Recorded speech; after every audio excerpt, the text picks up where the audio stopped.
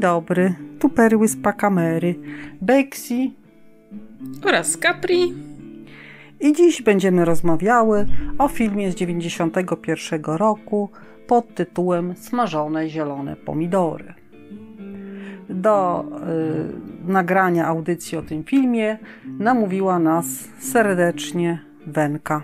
No i y, ja już ten film oglądałam wcześniej, czytałam książkę, natomiast Capri jest na świeżo.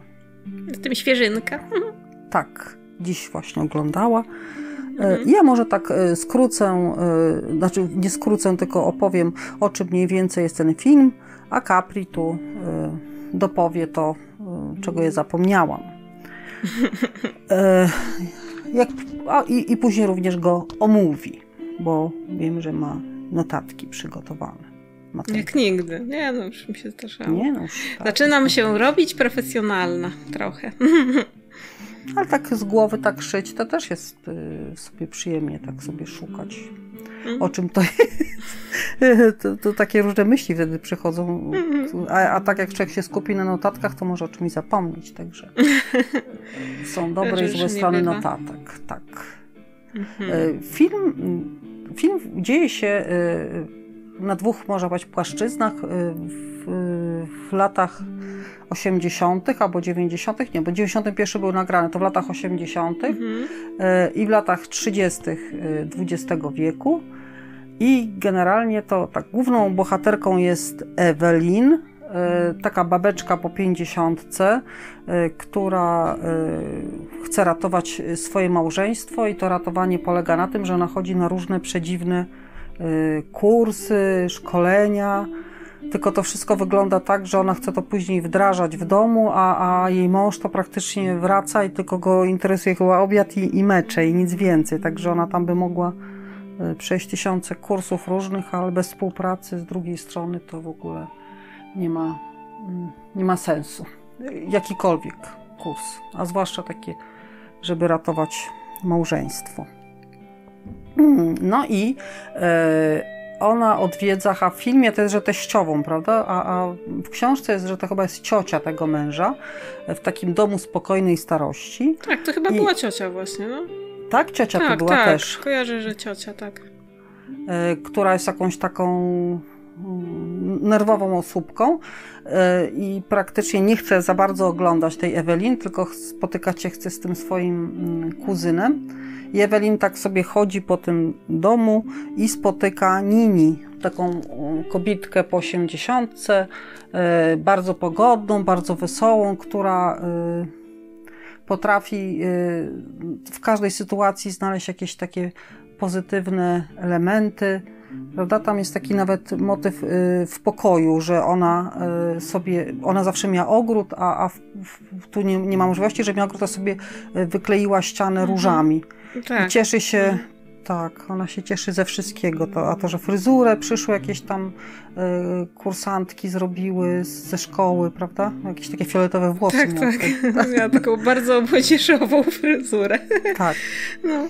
I, I, z batonika, no po prostu we wszystkim, we wszystkim znajduje radość. No i y, z tą Ewelin y, zaczyna rozmawiać i opowiada jej takie y, historie z lat 30., wtedy, gdy sama była młoda i, I wtedy się właśnie przenosimy w te inne czasy i poznajemy y, i Rów. I Igi to jest taka mm, dziewczyna, taka chłopczyca, która nie chciała chodzić w sukienkę. Y, miała ukochanego brata Badiego, bo ta Nini to jakby była przy tej rodzinie, prawda? Ona to obserwowała, i żyła, właśnie to cała mhm. miejscowość prawie żyła tych ży życiem takim, tej rodziny, już zapomniałam jak, on, jak on się nazywali. W każdym razie ta Iji y, straciła ukochanego brata w takim wypadku kolejowym. On biegł za kapeluszem, który spadł jego narzeczonej i wpadł, wpadła mu noga pomiędzy tory, takim, na takim rozjeździe, no i nie zdołał jej wyciągnąć, gdy pociąg nadjeżdżał. I Taiji jest załamana przez bardzo długi czas i nikt jej nie może pomóc.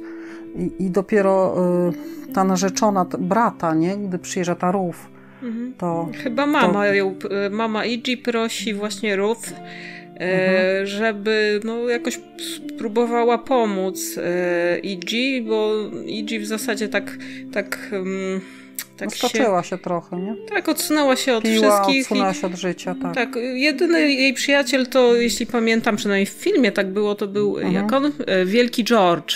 Tak, Czyli, tak. no, jak to powiedzieć, niewolnik, jak to nazwać? No ciemnoskóry. Już nie, no ciemnoskóra, o ciemnoskórą już niewolnictwa nie było, ale no, no nie, ale nie byli, to była tak, nie byli dobrze traktowani. Nie byli dobrze traktowani, no właśnie. Mhm. Tak, to jest bardzo dużo o rasizmie w tym filmie. Mhm. E, no i właśnie Rów przyjeżdża i e, no Iji jest oczarowana. Można powiedzieć, że one się w sobie zakochują, prawda? Znaczy ja bym powiedziała, że chyba nie, nie od początku, że na początku Iji jest taka do tego nastawiona mm, raczej no tak, negatywnie i on dopiero, te, jak jest ta scena w pociągu, kiedy się okazuje mhm. tak, że, um, że Ruth też pokazuje jakiś taki swój charakterek. Tak, bo nam się, że to jest słodkie dziewczątko, tak? tak, tak, tak, że ono taka potulna i w ogóle. Y, I no i chyba od tego momentu, że one zaczynają tak się, właśnie zaczynają się zaprzyjaźniać. Mhm. Mm, Tam jest jeszcze I... wątek z tym miodem, prawda? Tak, jeszcze wątek z miodem, tak. No, ale proszę, kontyngentuj. Aha. Bo Iji potrafiła zbierać, była taką zaklinaczką pszczół, potrafiła mhm. podbierać miód dzikim pszczołom i, i po prostu z narażeniem życia to robiła y, dla rów, y, bo rów bardzo lubiła miód. Y, I tam, no dalej to się roz, rozwija tak, że y, Rów y, wychodzi za mąż, matka chyba ją tam wyda za jakiegoś takiego bogatego faceta, ten facet y, no, ją bił, mhm. bardzo źle traktował. Mhm. I Iji razem z, z dużym George'em przyjechała do tego domu i Rów zabrała. Rów była wtedy w ciąży. Mm, no i prowadzą razem taką knajpkę.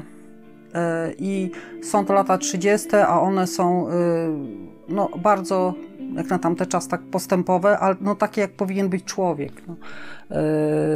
E, Wyzwolone. Słucham? Wyzwolone takie Są bardziej. wyzwolone, mhm. E, tak, żyją w takim związku, no nie wiem, przyjacielskim, można powiedzieć, ale mhm no załóżmy, że tak, yy, wspólnie wychowują syna Rów. Ten yy, syn zresztą później traci rękę i, i Iji, taka właśnie taka yy, szorska, wychowuje go na takiego twardziela, mimo właśnie, te, że, że on jest inwalidą, to w niczym nie ustępuje w sprawności innym dzieciom. Rów później umiera, prawda? No, a to, to jest tam taka no, bardzo smutne. I wtedy Iji się zajmuje tym, tym synem. W każdym razie one nie boją się niczego i nie boją się żadnych oskarżeń o, o, o to, że, bo i Ku Klux Klan, prawda, do nich przyjeżdżone y, czarnych y, obsługują, nie boją się żadnych oskarżeń o to, że one się zadają z czarnymi, y, są po prostu odważne i sprawiedliwe. W każdym razie ta opowieść i również y, no, to, że Nini tak bardzo wspiera tą Ewelin i mówi, że ona jest młoda, co to jest 50 lat, nie? Mhm. E, to, to również właśnie Ewelin pobudza do e, zmiany swojego życia. Mhm. I e, Ewelin zaczyna sprzedawać kosmetyki, no coś takiego jak Avon, prawda? Mhm. E, zaczyna wierzyć w siebie, mężowi się po prostu, można powiedzieć, stawia, jest, staje się taką niezależną y, osobą. No i kończy się to tak, nie wiem czyż mówić. E, e, może nie, może samą końcówkę zostawimy. Opowiemy teraz, jakie e, wrażenie wywarł na nas ten film i, i czy nam się podobał.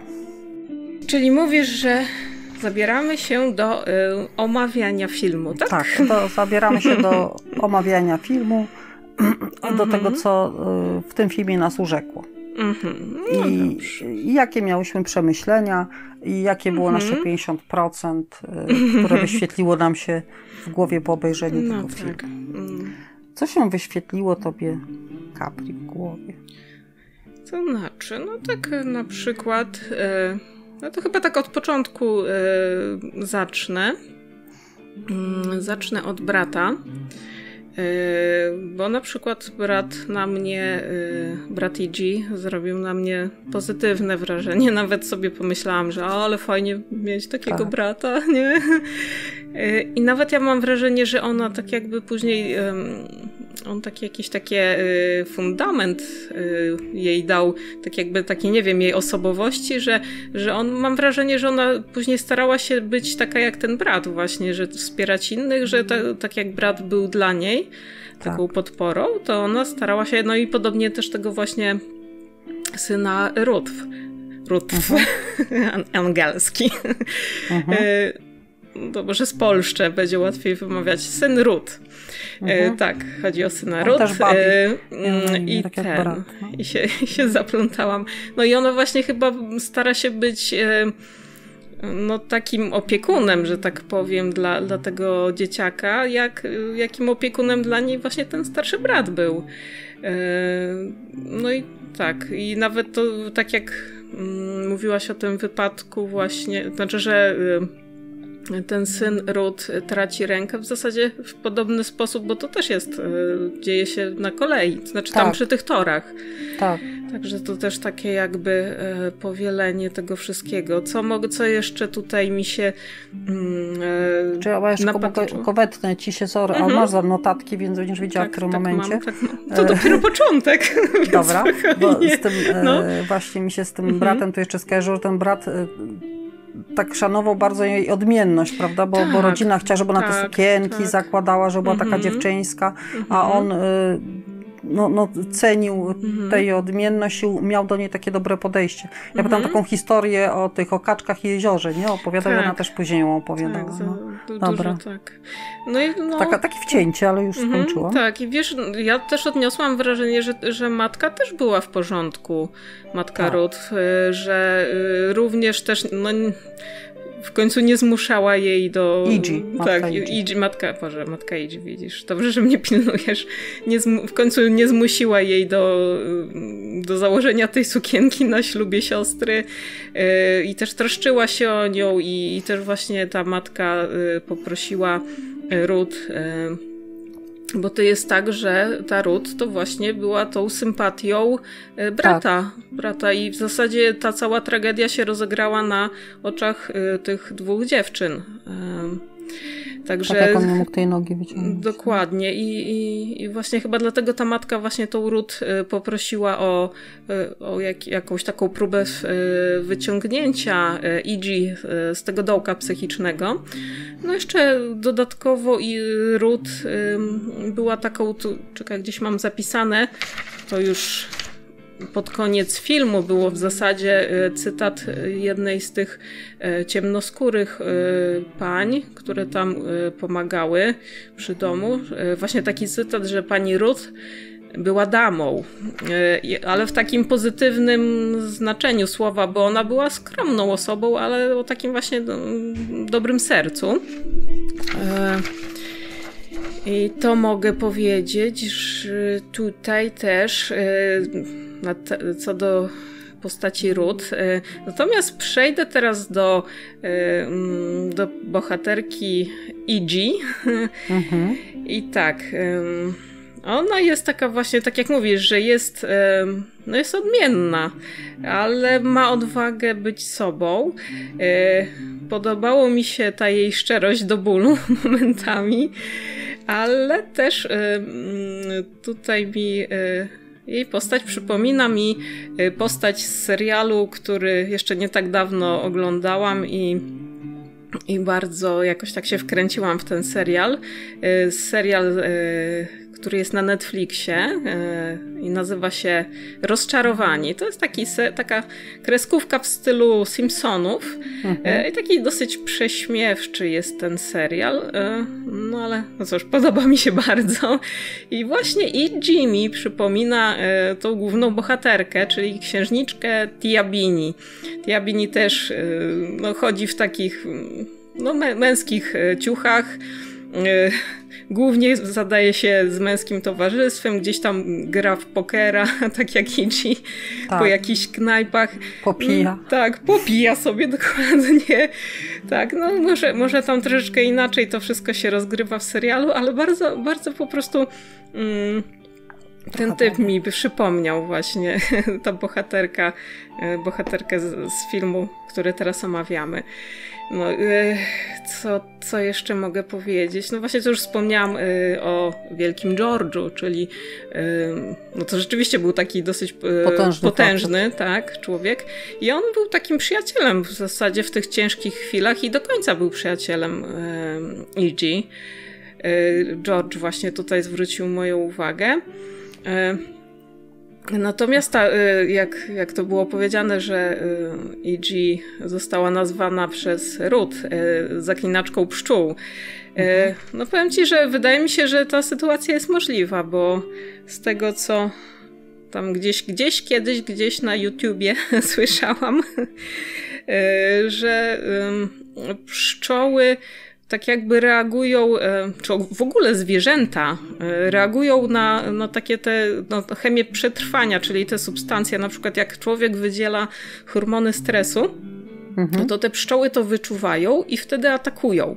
E, natomiast z, te, z, tego wnioskuję, że Igi po prostu nie bała się tych pszczół i dlatego one jej nie atakowały. Nie? Ona mogła swobodnie włożyć rękę do tej dziupli e, z tymi pszczołami, wyjąć plaster miodu i, i, i później odeszła cała w tych pszczołach, one siedziały na niej, ale ani jednego urządlenia nie było i to właśnie też też ta scena, wiesz, e, pokazuje mi właśnie jakby charakter tej dziewczyny, że ona była taka, że ona się nie bała. Tak, ona była no przebojowa. No przecież przebojowa. też nie bała się tego męża, prawda? Tak. E, gdy pojechała po mhm. porów, to y, powiedziała mu, że jeżeli jeszcze ją tam tknie kiedykolwiek, mm -hmm. to go zabije i jak gdy uderzył Ruth, to przecież go zaatakowała. Tak, i skoczyła mu ta, na, skoczyła mu na, na plecy, plecy tak, i w ogóle nie, nie patrzyła, to facet taki Dokładnie, silny. większy dużo od niej. No ale na szczęście mm -hmm. przyszedł duży George i sprawa się no, tak, i... E, dobrze zakończyła. Ruth pojechała do domu mm -hmm. razem z Iggy. Mhm. A to, co mówiłaś o tych pszczołach, to mi się przypomniało, że ja taki oglądałam kiedyś y, taki dokument. On taki był dosyć znany, tylko już nie pamiętam, y, ale to się działo gdzieś na Bałkanach. To było o takiej kobietce, która z taką matką y, mieszka i ona właśnie hodowała te pszczoły, ona żyła tylko z tego. Później jechała do miasta, sprzedawała ten miód i, i, i to, o czym mówi, że te pszczoły wyczuwały ten jej spokój. Później tam przyjechała jakaś rodzina, która też się chciała tym zająć i ona praktycznie te wszystkie pszczoły wykończyła, bo za bardzo y, eksploatowali mhm. y, tam te tereny i te, te, z tych pszczół chcieli jak najwięcej wycisnąć miodu.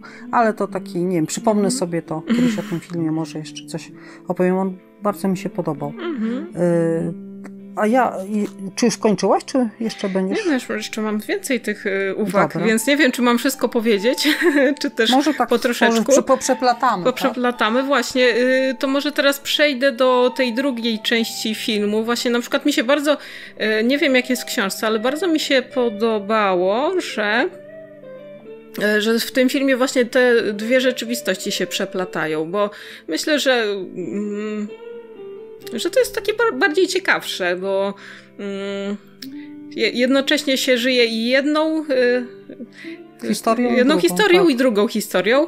E, a jeśli chodzi z kolei o ten e, coaching, tak, Matka, że... masakra, nie?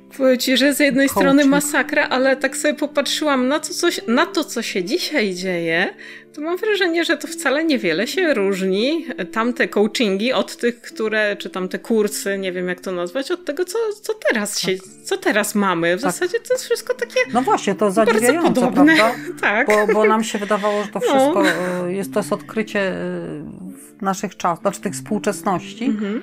E, a, a się okazuje, że to od zawsze były te, te nauki, te, te, te prania głowy. I, to się nie zmienia to się nie zmienia i to mm. pozytywne myślenie, no właśnie, dlaczego wszyscy ludzie nie są tacy, nie mm. potrafią tacy być jak ci, y, jak ci coache. No tak. by chcieli, tak? Y, czy chcą ich zmienić. No ale w sumie to wtedy by nie było kursu, bo wszyscy by się zmienili, no i co? Każdy by był tak. po prostu wspaniały. Kołczowie byliby bezrobotni. Kołczowie byli bezrobotni, mhm. ludzie by się nie chcieli zmieniać. Mhm. Y, a ja mogę... Nie, jeszcze chcesz tak? Nie, no mów, spokojnie. bo ja sobie tak y, to y, wynotowałam z tego filmu, co wyniosłam. To w ogóle takie pozytywne bardzo wrażenie, że młodość to jest taka względna sprawa bardzo. Wszystko zależy mhm. od punktu odniesienia. Prawda? Wszystkim się wydaje, że po 50, zwłaszcza kobieta po 50 to już jest w ogóle koniec. Yy, I już po, powinna, czy no nie wszystkim, ale większość osób tak myśli, że to już jest koniec i już tak ona do schyłku, mhm. prawda? Życia powinna się zbliżać i już e, chyba, nie wiem, dzie, wnuki jakieś niańczyć. I Położyć się do trumny i czekać i czekać, tak. A tu ta Nini do niej mhm. mówi, wiesz, ty jesteś młoda, co ty tam, w ogóle nie do tej Ewelin, co, co mm ty, że ja miała tyle lat. Mm Jakieś jej tam y, tabletki poleca i... Hormony, tak? Weź hormony. hormony. i wszystko będzie w porządku, tak? No. Gdzie później no. w którejś scenie mówi, nie za dużo tych hormonów wzięłaś. Tak, bo ona za dużo, bo ona za dużo energii nagle w pewnym momencie zaczęła mieć. Tak. Nie, to było... Mm Także, że ta, ta młodość po, po prostu właśnie zależy od tego, jak na nią patrzymy, z której strony. Mm -hmm. od strony Nini to Ewelin była bardzo młoda, a poza tym no, no młodość to, to, to jest stan umysłu przecież, jak wiemy, prawda? E, a w ogóle to tak sobie pomyślałam, że to ten, taki film jest y, o takich podstawowych wartościach w życiu o mhm. takich może, nie wiem, oklepanych, już y, się to o tym mówi, może to jest takie, będzie się dawało górno, takie górnolotne, co ja powiem, ale y, to naprawdę jest właśnie y, film o tym. Mhm. Tak, o tym, że nigdy na nic nie jest za późno, że te zmiany można sobie, można wprowadzić i, i, i tę energię odzyskać w życiu i tę chęć do życia. To tak z tego filmu wynika. Mhm. E, że nie ma w przyjaźni e, żadnych barier, na przykład wiekowych, e, bo, bo to się przyjaźnią ludzkie takie serca, dusze, a, a, a nie ciała. Oto z tego wyniosą, tak jak ona bardzo się piesztą Nini, ta Ewelin zaprzyjaźniła, że nie warto się starać dla kogoś, kto w ogóle tego nie ceni. I tu myślę o Ewelin i jej mężu, który w ogóle mhm tylko się pytał, czy ona na kurs poszła, w ogóle y, w żaden sposób nie pomagał, żeby z tego kursu coś fajnego wyszło. No tam tylko się liczył, później dopiero szok przeżył, prawda? Ewelin naprawdę się zmieniła, ale to ona się zmieniła dzięki Nini, a nie dzięki y, tym kursom. E, no i jeszcze taki właśnie, że miejmy oczy szeroko otwarte, bo nigdy nie wiemy, y, no, no co w naszym życiu się okaże waży. Tu takie spotkanie w Domu Spokojnej Starości okazało się dla Ewelin y, kluczową sprawą, kluczową taką zmianą w życiu, nie? Więc to się może po prostu zdarzyć wszędzie i, i w każdej chwili. E, że miłość daje siłę, ale to mam matko, no teraz to się wstydziłam aż tego powiedzieć. Ale to jest prawda, bo Idzi się tak dźwignęła dzięki miłości do, do, do Ruth i mhm. no po prostu wyszła z najgorszego takiego doła mhm. E, w życiu. Wydawało się, że już po prostu nic jej nie wyciągnie po śmierci tej brata. Mhm. No i, y, i, dla mnie to takie kluczowe y, przesłanie, jakie mam z tego filmu, to, że wszelka dyskryminacja powinna być y, przestępstwem. Mhm ogłoszona przestępstwem, dlatego że yy, no każda, ze względu na rasę, wiek, preferencje, jakie, na, na, wszystko, bo to jest po prostu karygodne i ci ludzie z, z lat 30. XIX wieku pokazali nam, jak yy, trzeba yy, no jak trzeba się w życiu zachować, żeby być porządnym człowiekiem. Tu, co powiedziałam, taką wielką sprawę, to właściwie to chyba aha, to właśnie to nie jest to moja kluczowa scena, bo mam inną kluczową scenę, y, ale powiedziałam no, o, o tej miłości, która daje siłę, y, ale też chyba też właśnie o tym mówiłam, że, że to jest takie ważne, że jesteśmy, podnieść, jesteśmy w stanie podnieść się z największej jakiejś takiej tragedii, y, jeżeli ktoś otoczy nas miłością. Mhm. Wydaje mi się, że to jest mhm. takie istotne, takie tak. proste, ale, ale takie, y, no nie wiem, czy spotykane na co dzień w życiu. I to by było wszystko, y, co, znaczy, no, no, nie wszystko, co z tego filmu wyniosłam, ale wszystko, co sobie tu zapisałam, takie najważniejsze mhm. sprawy, bo y, ten film to tak się czuje bardzo sercem, duszą. Mhm. Trudno jest mówić, nie, później o tym, co, co czuliśmy. Mhm. Wszystkich zachęcam do obejrzenia, żeby poczuli te, te emocje. No ja A ty co jeszcze mam kilka, mam kilka jeszcze takich adnotacji.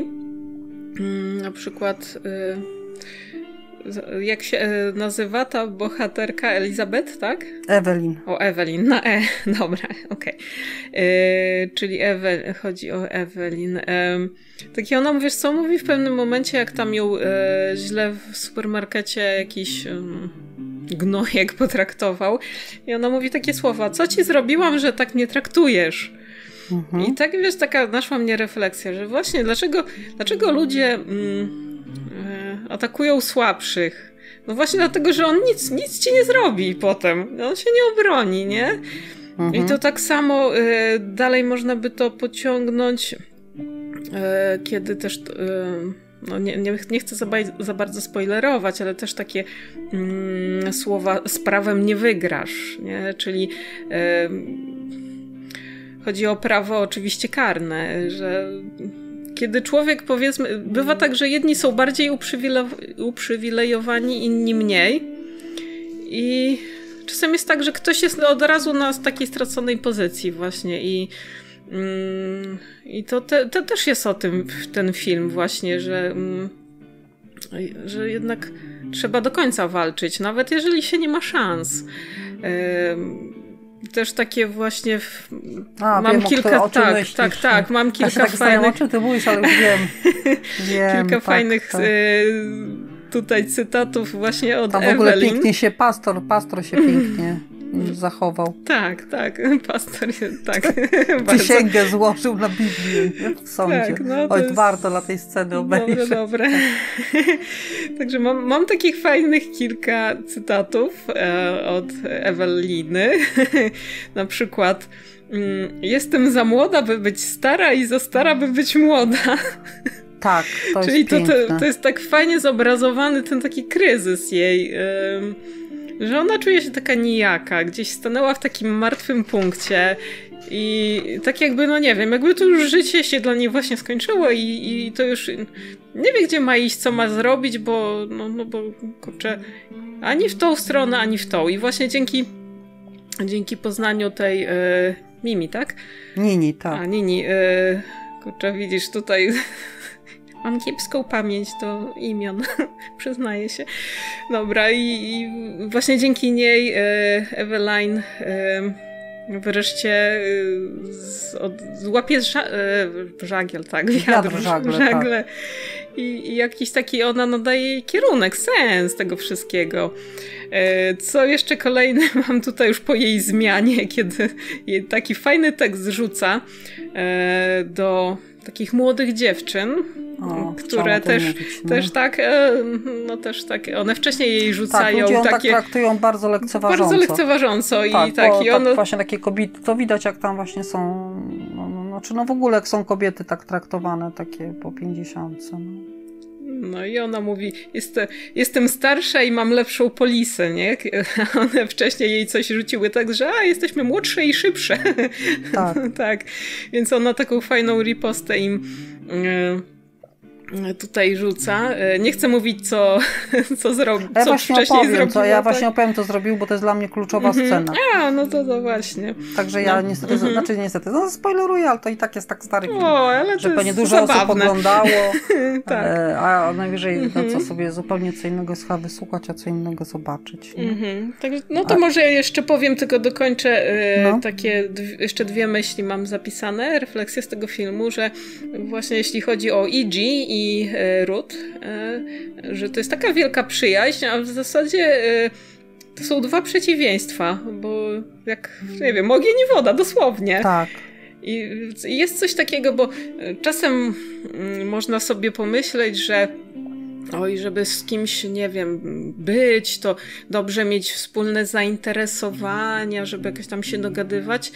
E, wspólne pasje i tak dalej, i tak dalej, ale to nie zawsze tak jest, mi się wydaje w życiu, że, że nawet, nie wiem, takie związki się rozpadają, e, a tutaj właśnie ta przyjaźń tych dwóch kobiet pokazuje, że można być zupełnie różnymi osobowościami, a mimo wszystko no, współgrać ze sobą, może nie wiem, może tak, na zasadzie uzupełniania się, no nie? Może i tak, a poza tym mhm. też chyba dwie jakieś takie silne osobowości. No właśnie, szybkie, tak, tylko na swój sposób ciężko. każda.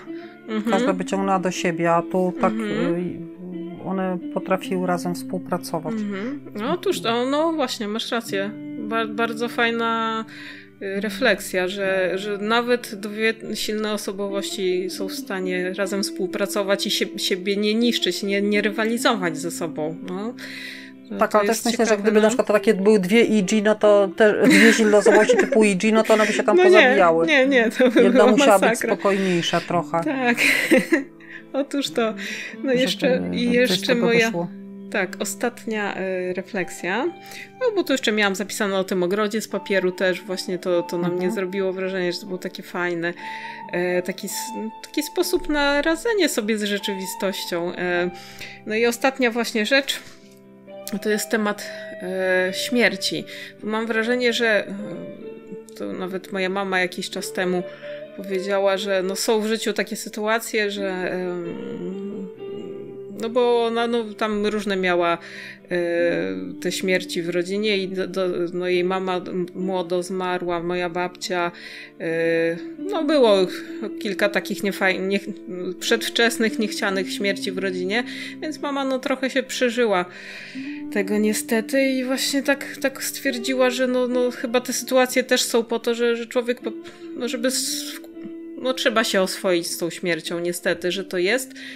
I w filmie też jest poruszony ten temat śmierci, żeby jednak nie bać się, żeby, żeby tą śmierć zaakceptować. I też tak właśnie mam wrażenie w tym filmie, że, że podobnie to życie e, tak jakby potraktowało Iji, że ona już od, od dzieciństwa tutaj najpierw śmierć e, e, brata, później no to po jakimś czasie to ta wiadomo, śmierć najbliższej osoby, ale że też tak jakby to życie jednak no, oswajało ją z tą śmiercią jednak, bo to no, taki trudny temat, każdy od tego ucieka. No trudny temat, no ale, mhm. ale tak, no ale nieunikniony. Mhm. Chyba powiem ci, że ja sama ostatnio nawet dużo nie, nie myślę o, o śmierci, ale to nie, nie pod tym kątem jakichś tam myśli samobójczych czy, mhm. czy coś w tym stylu, tylko po prostu właśnie, że no co będzie, no nie wiem, jakby, no, nie wiem, czy dzisiaj czy jutro przyjdzie się zmierzyć e, z tą rzeczą ostateczną i, i właśnie tak staram się myśleć o tym, jak, jak, jak, to będzie, jak to w ogóle, żeby się nie bać, przyjąć jakoś, nie? Ale chyba nikt nie jest przygotowany. Wydaje mi się, że jednak nie, nie, wiem, nie wiem. że to można się oswajać, a, a tak, ciężko to powiedzieć. A, a jakoś jest, a, a później mhm. będzie pewnie inaczej niż się przygotujemy. Chociaż fajnie, a teraz możemy, y, wrócę sobie do innego filmu, jak tu mówisz o śmierci, oswajam się ze śmiercią, to mi się przypomniał film o George'u Harrisonie nie? gdzie on się tak przygotował do tej śmierci i rzeczywiście on chyba miał taką śmierć, jaką chciał. E, ta jego, jego żona powiedziała, że gdy tam wydał, no nie wiem, to ostatnie tchnienie, tak to nazwę, to że cały pokój się rozświetlił, tak, że on tak. był szczęśliwy, nie? Mm -hmm, e, gdy właśnie w tej chwili, że tak, tak właśnie chciał umrzeć i tak umarł, jak chciał. E, a tu jeszcze mi się przypomniało, że Nini miała syna niepełnosprawnego. I, i to, co mhm. dla leka lekarze uważali, że to będzie dla niej ciężar, to było światło jej życia, nie? Najbardziej taka y, prawa, szczęśliwa y, osoba, jaką spotkała, nie? Że to była promyk i radość jej życia. Y, ten syn niepełnosprawny. Mhm. No. I ja teraz powiem o kluczowej scenie dla mnie, no zaspoileruję bardzo, to właśnie to, o czym wspomniałaś o tych młodych dziewczynach, to się zdarzyło y, przed sklepem, y, gdy Ewelin czekała na y, miejsce, żeby wjechać, prawda, było dużo samochodów i sobie tam upolowała jakieś miejsce, czekała na nie, samochód wyjeżdżał i wtedy bardzo szybko nadjechał jakiś samochód, który tam, w którym były młode dziewczyny i to miejsce jej zajęło. I ona mówi do nich, że czekałam tyle czasu, nie, i no, uprzedziłyście mnie, że to jest nie fair, a one powiedziały, jesteśmy młodsze yy, i szybsze. No i w związku z tym ona swoim samochodem rozwaliła ich samochód, nie? Siedem lat razy walnęła. No. No i powiedziała, a ja jestem starsza i mam lepsze ubezpieczenie. tak, to właśnie to było, to było piękne. Mega. Tak, i później mąż, mąż dochodził, zachodził w głowę, jak można niechcący siedem razy. To był wypadek? To był wypadek siedem razy, jak walnąć w jeden samochód. Nie? To tak. było... Tak, było. tak a, ale to było piękne, bo to się wtedy w niej ta Tołonda obudziła, która się, taka mm -hmm. Tołonda, mścicielka, mm -hmm. tak. I, i, która niosła sprawiedliwość. Tak. To było piękne. A dla ciebie który moment był taki ważny? No to też muszę zaspoilerować. Proszę. To była sprawa w sądzie. No. E, kiedy Ruth była przesłuchiwana przez prokuratora e, i została zapytana e, bodajże, dlaczego ona odeszła od męża i przeprowadziła się mm, do Igi. Mhm. I Ruth w zasadzie no mogłaby powiedzieć, a bo mąż, mąż mnie maltretował, więc musiałam uciekać, uciekłam do przyjaciółki, nie? No mogła tak mhm. powiedzieć. E, no a Ruth mówi, że ponieważ y, no, wyprowadziłam się do mojej y, przyjaciółki, ponieważ ją kocham. Nie? I, I ona tak przy wszystkich to powiedziała i powiedziała to też tak patrząc na Idzi. E, mhm. I to, to właśnie było takie, no, wow, niesamowite dla mnie, że, że ona mm, z jednej strony takie wyznanie, a z mhm. drugiej strony no powiedziała prawdę, no nie? Tak. Że to nie było tłumaczenie się, że to nie było ukrywanie y, jak, powiedzmy tego, powiedzmy y, prawdziwego powodu, że uciekła od męża, bo jej było źle. Tylko ona powiedziała prawdę, że, że wyprowadziła się do przyjaciółki, nie? Bo ją kocha. Bo ją kocha, tak. No. A jaka, ile punktów dajesz? Hmm? Może kubeczek? Kubeczek? Znaczy Czekaj, misa. Kurczę. Patrz, mam kubeczek, tylko będzie inaczej brzmiał, bo mam herbatkę w nim. Dobra, no to kubeczek? O, słabo. Za dużo herbaty. no coś tam było słychać. no, oczywiście trzy gwiazdki daję, bo jest Dobra. wspaniały film. Ja też daję trzy gwiazdki i mam nadzieję, że Wenka też daje trzy gwiazdki, że będzie zadowolona z naszego, z naszej opinii. No, myślę, że jeszcze dużo Bo można wiem, by że powiedzieć. Wiem, że się ten film bardzo podobał. No na pewno coś na napisze. tego filmu. No, tak. Także no zachęcamy do obejrzenia. Zachęcamy bardzo, bardzo, bardzo mm. zachęcamy. Jeżeli ktoś nie mhm. oglądał, to obejrzyjcie. I papa. I papa. Do, do usłyszenia. usłyszenia.